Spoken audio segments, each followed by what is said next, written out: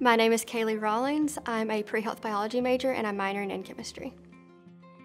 I was a part of the 2018 study tour to Washington, D.C. When we actually went, I had learned a lot more about the politics and the history and the culture, and I was interested in actually interacting with people and seeing the different landmarks that had shaped our country and standing in the same place that our world leaders had stood in.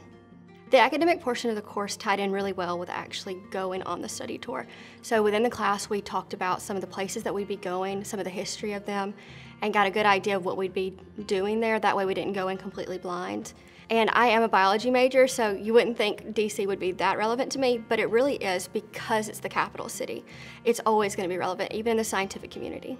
And interestingly enough, before we went on the tour, I only knew one of the other people that was going on it, which made me a little apprehensive but it's actually interesting. I'm really, really good friends with some of the people that went on the tour and we've kept in contact and it's just been a great relationship and great time with the people and they absolutely made it.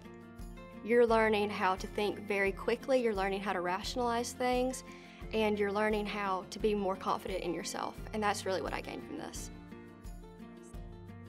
My name is Gregory Hethcock. I am a senior here at JSU pursuing a double major in molecular biology and drama production with a minor in political science. And I was on the 2017 and 2018 December study tour. So learning about the um, city that we were traveling to beforehand really helped prepare us um, to be um, thrown into the city. We weren't caught off guard and this allowed us to hit the ground running when we got there. I had the opportunity to meet um, many different people while on this trip, not just the other participants in the study tour, but also while we were in Washington, D.C., our group went and had a group interview with the White House Fellowship Program. So um, we were able to make connections up in D.C. I'm Rachel Wallace. I'm studying political science um, with a concentration in pre-law with a minor in English, and I actually went on the December um, of 2017 DC tour. So when we went to Washington, D.C. Um, in 2017, we were able to see um, Congressman Mike Rogers, who is the representative for this district. Um, and we got to go meet him, see his office, and it was very quick because he was in the middle of voting.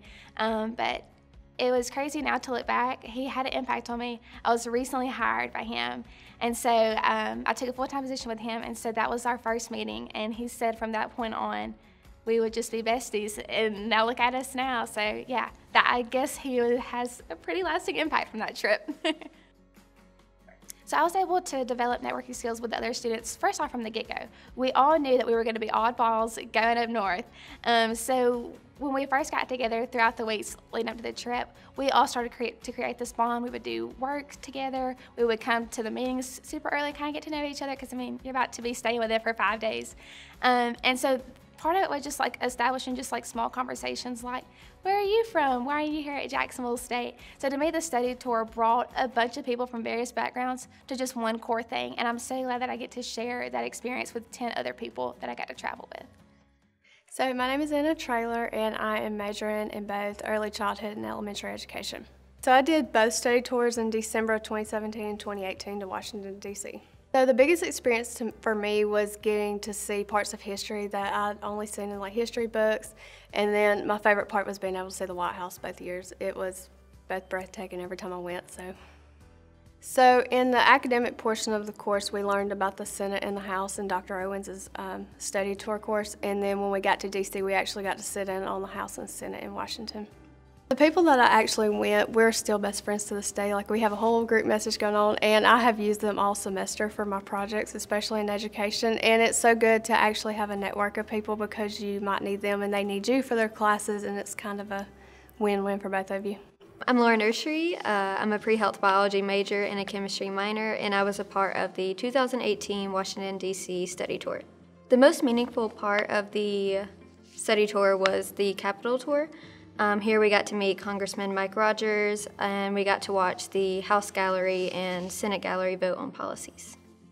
My goals for the study tour were to take myself outside of my comfort zone and to explore a different environment and new cultures, and the study tour definitely provided that for me.